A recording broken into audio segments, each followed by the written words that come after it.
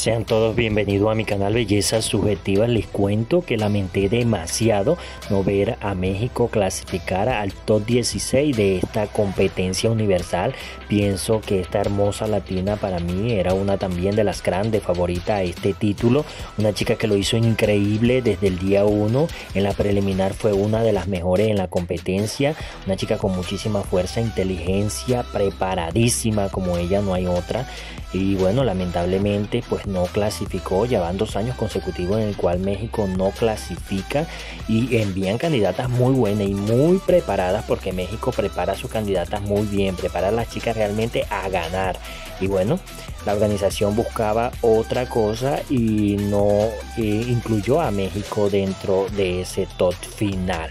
Quiero que acá en los comentarios me digan qué tal les pareció la no clasificación de México en esta competencia por la corona universal.